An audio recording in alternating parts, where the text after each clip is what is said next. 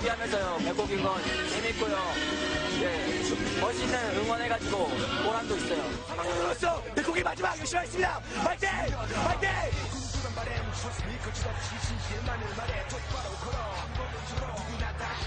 이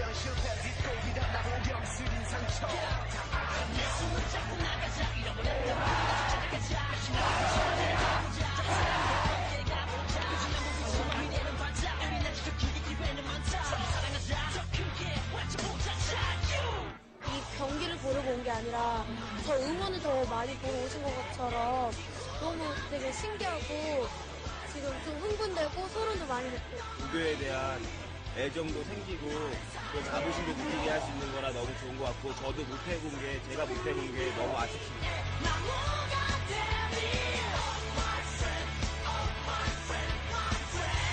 오늘 이 그라운드를 서고생 목소리로 가보겠습니다. 오, 화이팅!